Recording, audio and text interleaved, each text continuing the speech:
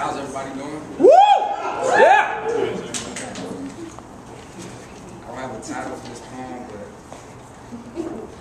but in the beginning, my mother had me, but quite sadly, and still never masked me.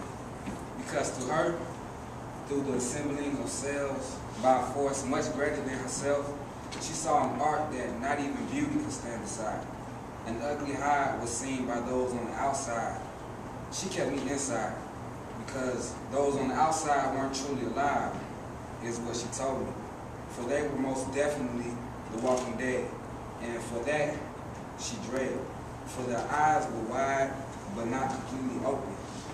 Shame on I for my curiosity, for I wanted to see the majority, and then after be the majority of those without sight. I might as well have asked for reverse of birth, or worse, suicide. Sin was in me rather than the naiveness that possessed them.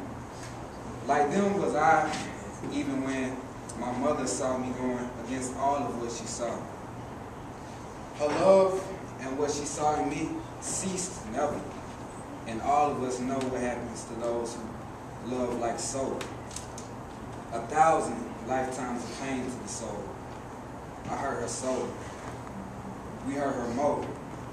And even though she provided for my so-called friends and I, her laws and respect were denied and looked over. War abundant was her home. Greediness was practiced. Most of the best plants were uprooted. The lovely air was polluted. Death is what we asked for, though unconsciously we were killing her. Mother, now I see all what you want is peace and for us to spread love.